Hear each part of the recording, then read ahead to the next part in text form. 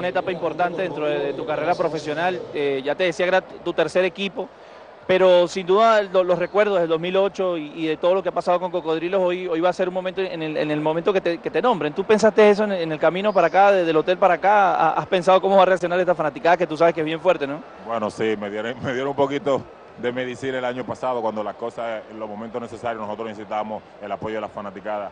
Eh, quizás diríamos un 15-20% de la fanaticada nos dieron la espalda, también a mi persona, y eso en realidad vinieron el desempeño de, cambiarme, y yo no me sentía bien ya en el equipo, y sucedió pues. Eh, ahora mismo en realidad, como lo dije anteriormente, no me sorprendo de ninguna actitud de, todo el caraqueño.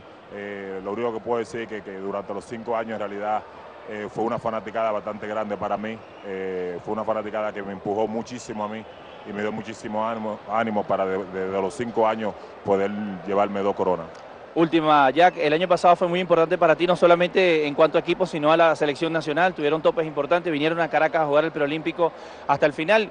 ¿Qué depara este año 2013 para ti, en lo, personal, en lo profesional? Pareciera que estás en un momento bien, bien importante de tu carrera. Bueno, sí, eh, eh, ahora mismo nosotros eh, tenemos, seguimos teniendo el, mismo grupo, un buen equipo, tenemos dos jugadores que, están seguros de la NBA que van a, otra vez a participar con nosotros, que como Francisco García, Al Holford, tenemos jugadores de calidad, Ronald Ramón, Edgar Sosa y todo eso.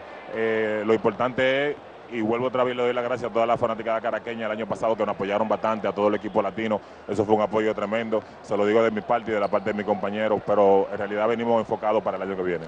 Bueno, Jack, muchísimas gracias y esperemos que, que la fanaticada se comporte a la altura, ¿no? Sobre todo porque esto al final es un juego y como juego y como trabajo hay que ser profesionales y hay que trabajar para donde se nos llame, ¿no? Bueno, eso sí, esto es parte del deporte, hay que aceptarlo. Claro que sí. Jack Martínez en la previa del Guaro Cocodrilos por TV. Bueno, las cosas de la vida y del deporte. Jack Martínez con una camiseta diferente y le toca debutar frente a su ex equipo. Parece que, está marcado por el destino, está asignado el hecho de, que Jack Martínez esté ligado en momentos importantes a Cocodrilos de Caracas, en esta oportunidad como oponente. No habíamos comentado, y le pido me dispensen, Juan Herrera, el capitán de, de de Caracas, no está esta temporada, ya es consabido que pertenece a las Panteras de Miranda y entonces viene siendo una baja más que desafortunadamente para el conjunto saurio se adiciona. Así es, y toma el relevo de Juan Herrera, Jesús el Zancudo.